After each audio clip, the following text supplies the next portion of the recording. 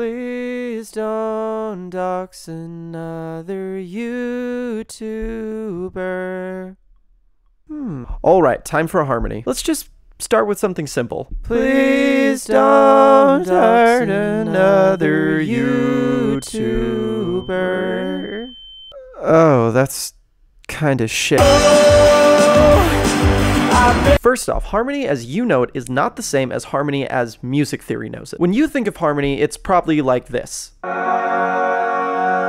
But to Mr. Music Theory, harmony merely refers merely refers to an interval of harmony merely but to Mr. Music Theory, harmony merely refers to an interval of simultaneous notes. Literally, it's just two notes playing together. That's harmony. There's so many kinds of harmony, some more consonant than others. Uh... Any kind of harmony can be useful in the right context, but most likely you just want something that sounds pretty. Me too. Sing a melody. Please don't die. Match that melody in MIDI and mute your vocals. Make two more blank MIDI tracks, select one of the tracks that you haven't drawn on yet, pause. Before we can add harmonies, we need to establish two things. What key are we in, and what chords are playing alongside our melody. For this example, we're in the key of A major, and the chords are A, C sharp minor, and D. Now these are just rule of thumbs, rules of thumb, but most of the time you're going to want to keep your harmonies in the key and, if possible, in the chord. Or an extension of the chord, but whatever, everything harmonized with everything else. It's confusing, don't worry about it. So to start off, just take your melody and move it up a third. Let's listen.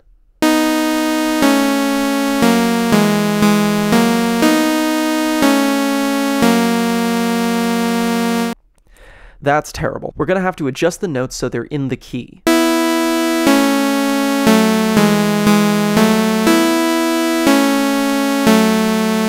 Less terrible. Moving on. Do the same thing, but move it up a fifth.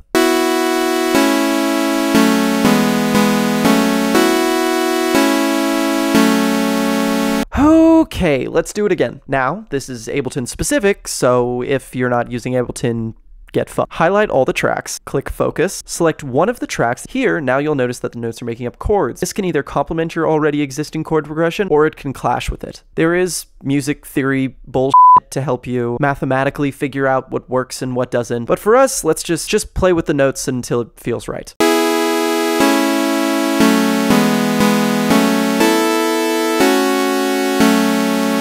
Cool. Solo your third, add an audio track, arm it, sing with the MIDI.